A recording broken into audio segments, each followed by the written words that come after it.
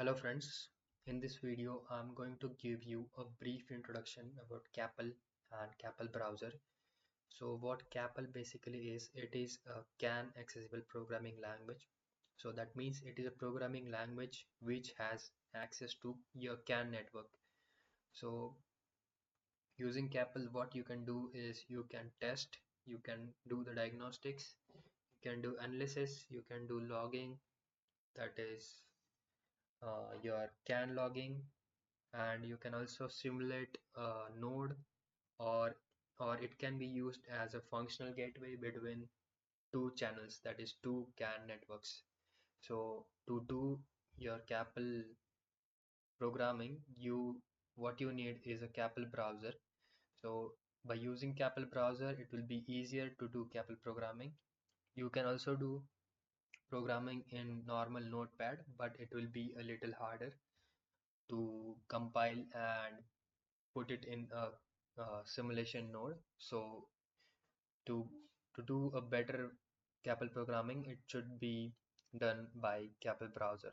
So first thing I'll show you is how you can open CAPL browser. So to open CAPL browser you have to go to this CANOE or CANalyzer tool whatever tool you, you have so I am having CANOE so I'm opening CANOE tool. So it takes a little a time depending on your configuration to open CANOE tool. So I'm just opening my CANOE tool.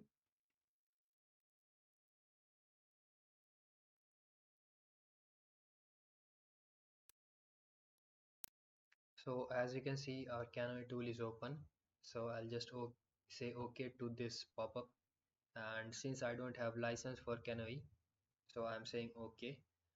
If you have license CANOE then it will not give you this pop-up. So I'll just say okay to this.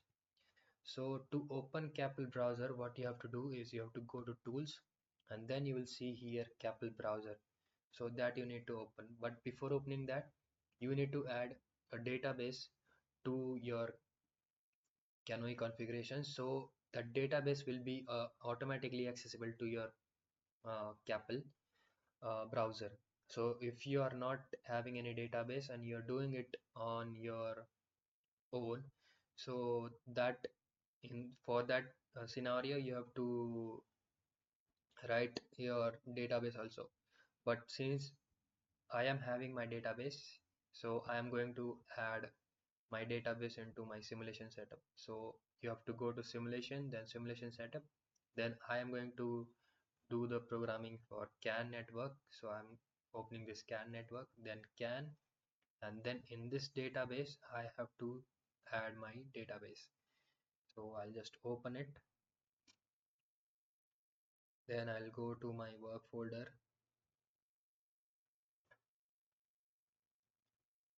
then I'll go to my temp and I'll go here testing and then you will see that temporary database is here. So uh, I'm adding that database. So if you are planning to do CAPL programming the first thing what you should do is add your database here. If you're not having database still you can do uh, CAPL programming. And after that it's done you can add your database. So um, since I've added the database here I'm going to open my CAPL browser. So once it is open you will see this kind of UI so what can CAPL basically is it is a event driven programming language. So that is event driven means if uh, some event happens at that time it the code which you have written will be will run so that means uh, there are three types of event are there mainly. So it is a the first type is timer event the second type is IO event and the third one is CAN communication event. So the first type you will see here is this kind of events. So these events are like uh, timer events and system events. So that is pre-start on start on pre-stop stop measurement on timer on key on star. So whatever events are there you will see on before that. That means on happening of this thing you should do that. On happening of timer uh, you should do this. On on keystroke that is uh, if I'm uh, uh, pressing one key on key press uh, something should happen. So it is like that. And this start and uh, pre-start pre-stop is uh, that is when you're starting your CAPL browser uh, when you're running your CAPL script at that time before starting the script run running uh, it should do uh, pre-start. And after it starts just after it starts it should do start. And before it stops it should do this pre-stop method. So how you can add method and all that I'll tell you in next video. So here you will just see what uh, are the events are there. So these are the signal events that is signal on signal this on signal on signal variable. And then after we'll see can events. That is on message on error frame on bus off on error active on error passive on uh, warning limits.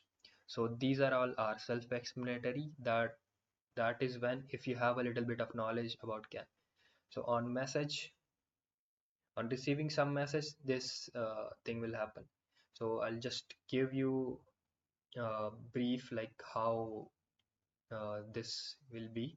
So if I click on that then one message will be added here. And I have to write what uh, what should happen on this message receiving uh, that I have to write it here. And on systems also I will give you a brief one like on timer expiration uh, this should happen. Like that whatever uh, we want to happen uh, that we have to write in this curly braces.